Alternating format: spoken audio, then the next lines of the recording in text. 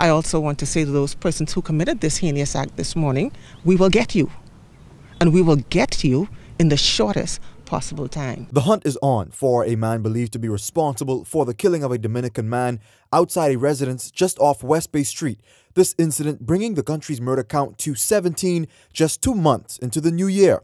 This incident unfolded sometime after 8 a.m., and here's what authorities have to say. Our department was notified of a shooting at West Bay Street and Eaton Avenue.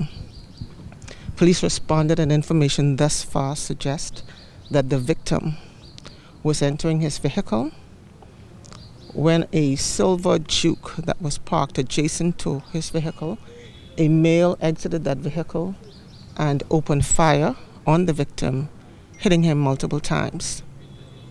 The victim, in his quest to evade the suspect, ran onto West Bay Street, where he collapsed.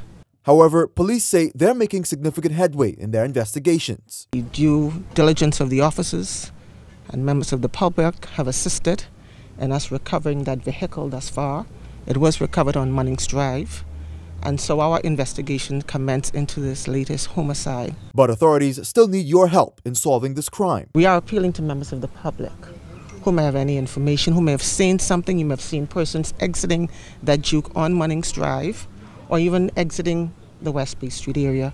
We're asking you to kindly reach out to your law enforcement agency, contact Chief Superintendent Johnson at 502-999-102 so that we can resolve this matter in a reasonably short period of time. Meanwhile, residents in the area say it appears as though crime is out of control. However, Skippings maintains that police have a handle on it. There's adequate patrols in the area. However, when instances, instances like this come up, we sit back, we re strategize our, our procedures and what we do. And so I can assure the residents of this community that you will see more police presence in the area to ensure that we minimize the occurrences of these particular incidents happening again in this particular district. This latest homicide comes as the country was recently ranked eighth on a regional list comparing the murder rate. The country recorded 128 murders in 2022 with no signs of slowing down in 2023.